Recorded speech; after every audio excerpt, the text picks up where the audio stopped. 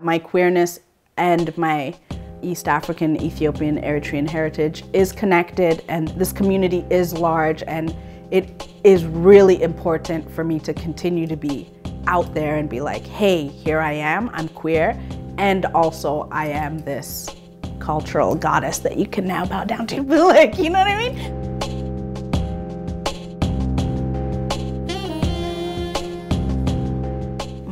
Name is Ayo Leilani, also known as Witch Prophet. And I am, I guess, an R&B soul hip hop singer-songwriter.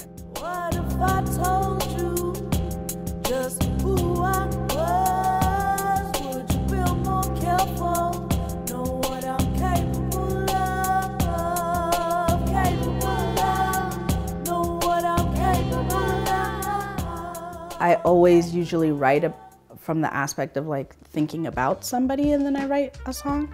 Um, so that's not hard. What was a little bit tricky was actually um, doing the research into my family tree because um, I really didn't know. As a child of the diaspora, my family came to Canada when I was um, four, so I, I was born and raised in Kenya, but my family had immigrated from Eritrea to Kenya during the war, during the war between Ethiopia. So like, I didn't really know what my culture was.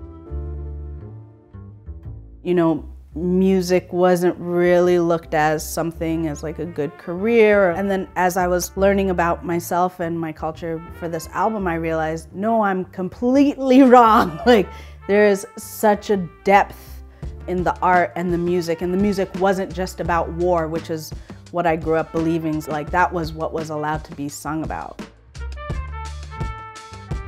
Before that, like Ethiopia had like the crazy emergence of like jazz and like, you know, this like new style. This this is something I didn't even know about. And like I'm I'm definitely Ethiopian and Eritrean and really going into finding out who I am and and so that process is like, it's hard because it's like, oh my God, I have to unlearn all these things. And so that's what this album is.